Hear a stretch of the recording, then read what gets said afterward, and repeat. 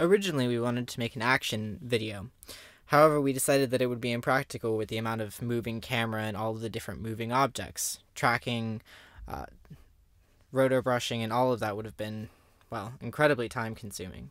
So we chose to make something a bit more subtle. In this case, the video is about a character staying up late to watch a meteor shower. One meteors crash nearby him, and he actually ends up catching one. After becoming one with the meteor, strange uh, things start to happen around him.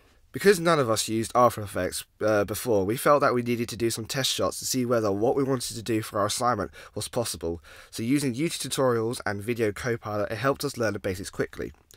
We saw on Video Copilot a making of short where they spray painted a sphere green and replaced it in After Effects.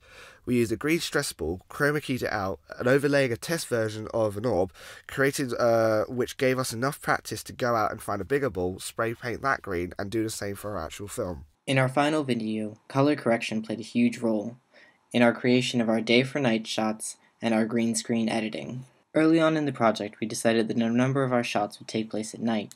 However, night shots are incredibly expensive and usually don't yield great results.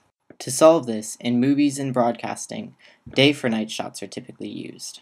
In order to create a realistic night shot, the light of the moon is recreated by tinting the video blue.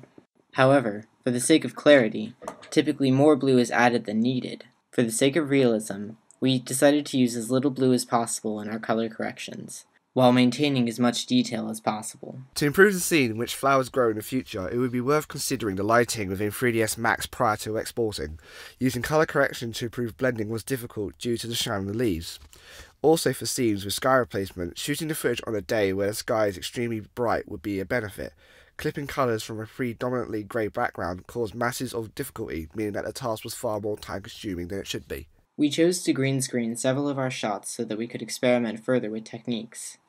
However, while filming our shots, we did not take into account the drastic difference in lighting between the green screen room and the backgrounds we intended to use.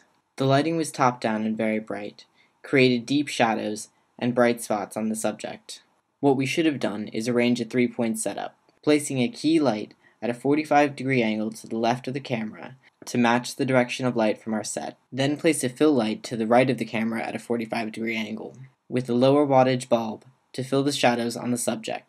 And lastly, place a background light, also with a lower wattage bulb, directly behind the subject, being careful not to let the light hit the lens. This background light helps to prevent flatness in the final composite. Tracking also played an important role in our video, because one of the main subjects we would be filming, an orb held by the actor, would need to be tracked for editing purposes. The native After Effects motion tracker can be used effectively as long as the lighting within the scene does not change and the camera position does not move throughout the shot. Because our scene matched these criteria, we chose to forego using Mocha and instead track the orb by hand using the After Effects tracker. Rotobrush also played an important role in our tracking. This was incredibly useful for our set extensions and sky replacements. Thanks to the foggy conditions of our filming, we were able to rotobrush out most of the scenes without any corrections at all. Had it not been for rotobrush's introduction in CS5, we would have had to go through 200 frames, one by one, rather than complete the work in seconds. Plugins also played an important role in our work, making our lives simpler and our editing more efficient.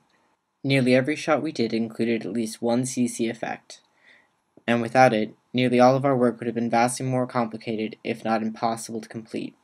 If CC Effects simplifies After Effects, Trapcode is the other extreme, supercharging effects. Particular was used in a variety of scenes. It was particularly useful for creating meteors in the starting scene. It is an extremely useful, user friendly plugin and created realistic looking shots where possible rather quickly. Where we failed and why. Green screening is typically used for cost efficiency when a digital composite is cheaper than an actual set. Our mistake here was green screening for the sake of green screening. It would have been easier to film these shots on set rather than green screen. Choosing to do this and also not correcting the lighting in the green screening room to make it more efficient for editing caused us a great deal of trouble because we could not correct all of the light differences in the final composite. In theory, if we had done this more professionally, the final shot would have turned out more like Peregrin Took in The Lord of the Rings, where we succeeded.